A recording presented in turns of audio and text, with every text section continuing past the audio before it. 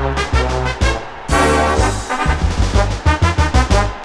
started off in 1954 to bring the World Cup back to Bonnie Shores. But something happened then, and it happened once again. And now's the time to show them where to go. So what the boys in blue are gonna do? They're gonna win the World Cup for me and you. They will hold their red up high, show the big man in the sky that that's what Andy's men are gonna do. With Big Roy, Alistair and Little Mo, Willie Miller, Paul McStay having a go.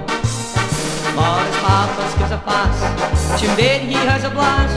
They'll fight as if it was the Alamo. So what the boys in blue are gonna do? They're gonna win the World Cup for me and you.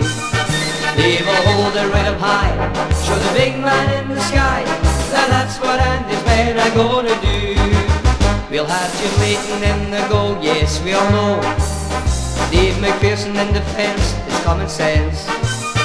Alec McLeish is on the loose, we've got great subs to give a boost, and Davy Cooper will be fighting till the end. So what the boys in blue are gonna do? They're gonna win the World Cup for me and you. Big man in the sky that that's what Andy's men are gonna do.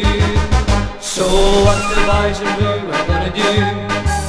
They're gonna win the World Cup for me and you. They will hold their right up high, show the big man in the sky that that's what Andy's are gonna do. So what the boys in blue are gonna do?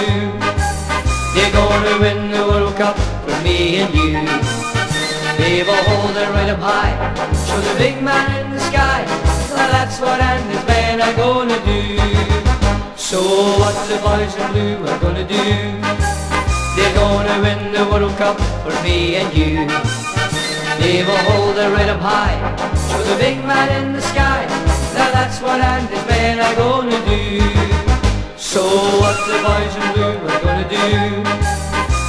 Gonna win the World Cup for me and you. They will hold the right up high,